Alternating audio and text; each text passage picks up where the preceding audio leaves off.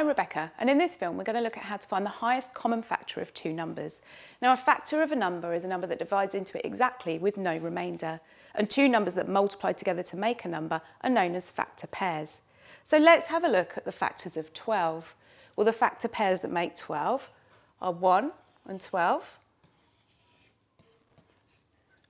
2 and 6 and 3 and 4. Now here, I also have the factors of 30, and you can see that some of them are common. They both have 1 and 2 and 3 and 6 as factors. So we can say that the highest common factor of 12 and 30 is 6. Finding the highest common factor is essential when you're simplifying fractions. Here I'm asked, what is 18 42ths in its simplest form? So I've written out the factors of 18 and the factors of 42. And here again, we can see that we have some common factors. We have one and two and three and six is the highest common factor. So to simplify, I need to divide the numerator and the denominator by 6.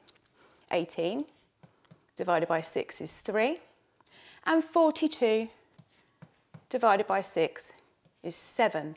So I now, in its simplest form, have a fraction of 3 sevenths. So why are we finding the highest common factor? Why not just any factor?